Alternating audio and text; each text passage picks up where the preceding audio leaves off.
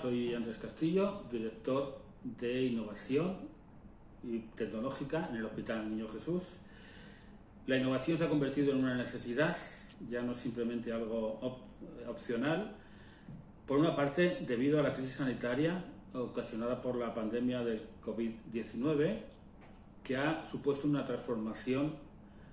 en las necesidades de los ciudadanos y ha hecho posible y acelerado la digitalización en el ámbito de la salud.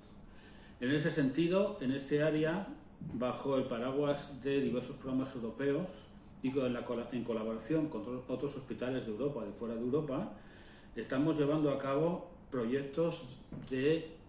inteligencia artificial aplicada a imágenes, datos oncológicos, datos genéticos, datos de telemonitorización, Big Data en salud, con el fin de resumiendo, prevenir y predecir para disminuir los costes en sanidad y sobre todo aumentar la seguridad de los pacientes, nuestros pacientes pequeños.